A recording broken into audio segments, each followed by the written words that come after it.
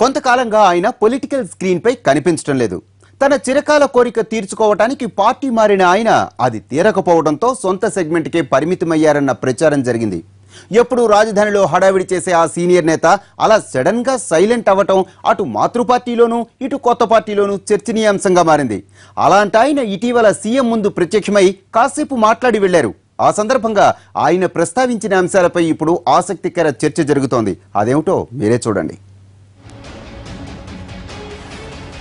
తెలుగుదేశం వదిలి టీఆర్ఎస్లోకి వచ్చాక హైదరాబాద్కు దూరంగా ఉంటున్నారు వరంగల్ జిల్లా ఎమ్మెల్యే ఎర్రపల్లి దయాకర్రావు. పార్టీలో చేరక ముందుకి ఇప్పటికీ ఎర్రపల్లి వ్యవహార తీరులో మార్పు కనిపిస్తోంది. ప్రతి విషయానికి హడావుడి చేసే ఆయన ప్రస్తుతం సైలెన్స్ మెయింటైన్ చేస్తున్నారు. ఇదివరకట్లా హైదరాబాద్లో ఫోకస్ అవటం లేదు. తనకి కొత్త పార్టీలో లభించాల్సినంత ప్రాధాన్యత దక్కడం లేదనే ఆయన హైదరాబాద్కు దూరంగా ఉన్నారని అసలు సీఎంతో మాట్లాడే టైం కూడా దొరకపోతుండడం వల్లే తన నియోజకవర్గానికే పరిమితమయ్యారన్న ప్రచారం ఉంది. ఇటీవలే ఆయన సామాజిక వర్గానికి చెందిన నాయకులు కొందరు. సీఎం కేసీఆర్ని కలిసినప్పుడు ఆ విషయం ప్రస్తావనకు వచ్చినట్లు సమాచారం. దానిపై త్వరలోనే ఎర్రబెల్లికి ప్రయారిటీ లభిస్తుందని సీఎం చెప్పారట.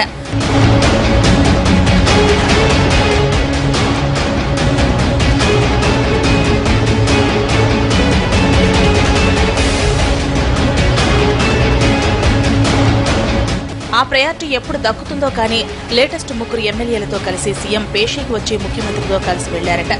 ఆ సందర్భంగా ప్రస్తావనకు వచ్చిన అంశాలపై ఆసక్తి చర్చ జరుగుతోంది. ఈ ఏడాది ఉగాది సందర్భంగా ప్రభుత్వ పరంగా జరిగిన పంచాంగ శ్రవణంలో పండితులు విద్య వైద్య శాఖల మంత్రులు ఆగస్టు మాసంలో చాలా జాగ్రత్తగా ఉండాలని హెచ్చరించారు. తిథులు నక్షత్రాల ప్రకారం ఆ రెండు శాఖల అమాత్యులకు ఆగస్టులో ఇబ్బందులు ఎదురవుతాయని వెల్లడించారు. దాంతో అప్పట్లో అక్కడ ఉన్న కేసీఆర్తో సహా అందరూ పగలపడి నవ్వుకున్నారు.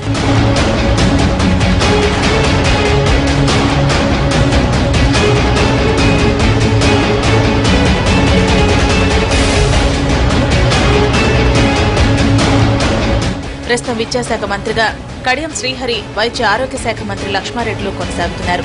ప్రస్తుతం వారిద్దరూ నిజంగానే ఇక్కట్లు ఎదుర్కొంటున్నారు.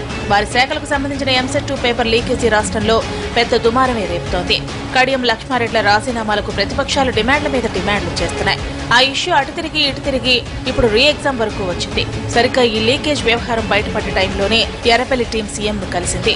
సీఎంతో మాట్లాడుతున్న ఎర్రపల్లి లీకేజీ వ్యవహారాన్ని ప్రస్తావిస్తూ ఉగాది నాడు పండితులు చెప్పింది గుర్తుందా అన్నారంట. విద్యా వైద్య శాఖలు జాగ్రత్తగా ఉండాలని అప్పట్లోనే చెప్పారు. ఇప్పుడు నిజంగానే వారికి ఇబ్బందులు వచ్చి పడ్డాయని గుర్తు చేశారంట.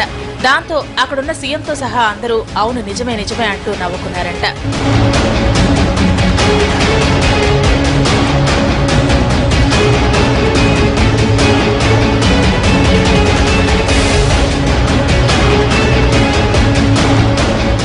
తీరని కోరికల మిగిలిన మంత్రి పదవి కోసం ఏళ్ళ తరబడి ఎదురు చూస్తున్న ఎర్రబెల్లి దయాకర్రావు సీఎంకు ఉగాది పంచాంగ శ్రవణాన్ని ఏ ఉద్దేశంతో గుర్తు చేశారో కానీ ఆయన వెంట వెళ్ళి వచ్చిన ఎమ్మెల్యేలు కనిపించిన వారందరికీ ఈ విషయాన్ని చెప్పేస్తున్నారు.